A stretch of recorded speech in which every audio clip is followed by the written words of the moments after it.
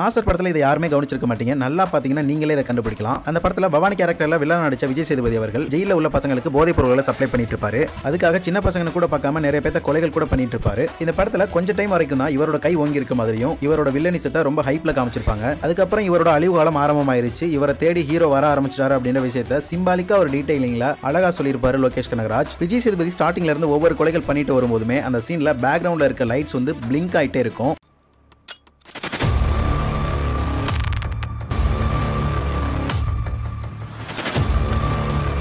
அப்புறம் நம்ம தளபதி பவானி யாருன்னு தெரிஞ்சுக்கிறதுக்காக அவங்களோட இடத்துக்கே அவர் தேடி வருவார். அவர் வர்ற டைமில் ஒரு டீப் லைட் பார்த்தீங்கன்னா பிளிங்க் ஆகிட்டே இருக்கும். நம்ம தளபதி விஜய் அவர்கள் இருட்டுக்குள்ள வரதுனால அந்த லைட்டு பிளிங்க் ஆகுறத சரி பண்ணுற மாதிரி அந்த லைட்டை ஆஃப் பண்ணி விட்டு போயிடுவார் இதுக்கப்புறம் நீ நினச்சதை சாதிக்க முடியாது அதை தடுக்க ஒருத்தன் வந்துட்டாண்டா அப்படின்ற விஷயத்த சொல்கிற மாதிரி இருக்கும் இந்த சீன் இந்த ஒரு சீனை கரெக்டாக இந்த விஷயத்த சொல்கிறதுக்காகவே லோகேஷ் அவர்கள் வச்சிருப்பாங்க. இந்த மாதிரி வீடியோக்கள் பக்கம் நம்ம சேனலை சப்ஸ்கிரைப் பண்ணி வச்சுக்கோங்க. அண்ட் இந்த வீடியோ பிடிச்சிருந்தா மறக்காம லைக் கமெண்ட் ஷேர் பண்ணிட்டு போயிருங்க.